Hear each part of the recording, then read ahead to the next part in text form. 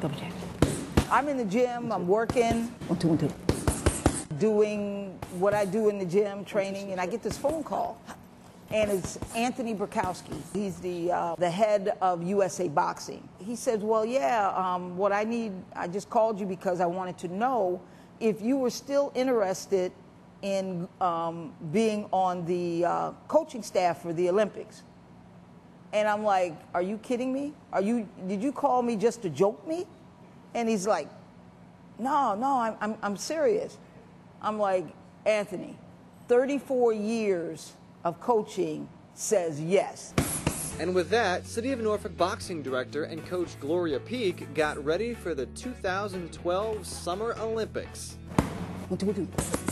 Believe it or not, USA Boxing is no stranger to the Barraud Park Boxing facility, with former Olympic head coach Dan Campbell also coming out of this exact same gym. That's just unheard of. You've had two Olympic coaches come out of this very single gym. Most gyms don't get any. Most cities don't get any. Norfolk's had two, and both out of the same gym. That's phenomenal.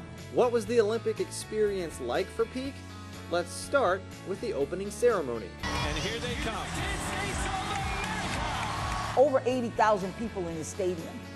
And then you've got media from all over the world. So all you can see is flashes going off and, you know, and as they call the different countries and you march through, it's just like, you just get this lump in your throat. I mean, it was a dream come true. I've been watching the Olympics forever, ever since I was a kid.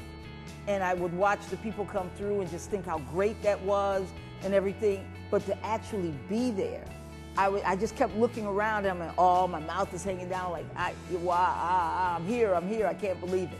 As an assistant coach to the 12 boxers on both the men's and women's boxing teams, Peek stayed pretty busy. I'm up at 5 o'clock in the morning because you have to wake people up. Uh, and you work straight through until 12 or 1 o'clock in the morning before you lay down. So it's, a, it's long, long days. It's a lot of work. I'm not there sightseeing. She didn't see many sights, but she did see a few other sports. It's like I got to see water polo, I got to see wrestling, um, I got to see uh, volleyball. Now, I wanted to see basketball, but getting a ticket for the men's basketball, yeah. But, but I, I got to see LeBron and them in the dining hall and stuff. And I'd be passing them by, yo, LeBron, how you doing? Yeah, hey, Michael Phelps, what's up? And while it was nice to rub elbows with well known U.S. Olympians, she would be well known forever. The first day that the men started, which is the 28th, and I stepped out uh, onto the ring, I made history. First woman to ever coach men on the Olympic level. The only woman in the world that coaches men on the elite Olympic level. So I, I made history just in that respect. Uh, and then obviously went on to also make history with the women, and the women being included for the first time ever. which included coaching Marlena Esparza to a bronze medal and Claressa Shields to a gold medal. When that flag goes up and they play that anthem, I don't care who you are, how big, male, hard, I'm telling you, tears come to your eyes. It's a feeling like the hair stands up on the back of your neck and you just, you can't help it. You just, you cry. I mean, it's just, it's an unbelievable feeling to have the national anthem being played and, and the American flag uh, being raised, and you know that you, that athlete is the best in the world. You hook off that. Come back with the two.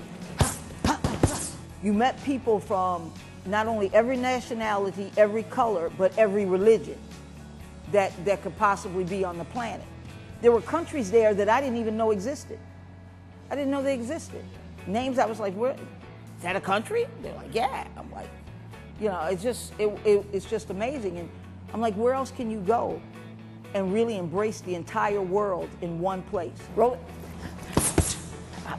Not a good roll. Roll it. The following week, she was already back coaching boxing in Barraud Park, preparing for the 2016 Summer Olympics, but not necessarily for her. I want one or two of my boxers from my club to experience being an Olympian. Mm, Gotten a little stronger.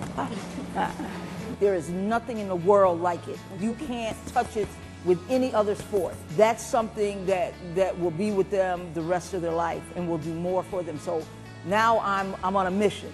My mission is to, is to get uh, one or more of my boxers on the Olympic team. And, and that's my determination. And I, I don't give up easy, so I plan to do that. There you go. For Norfolk News Now, I'm John Linka.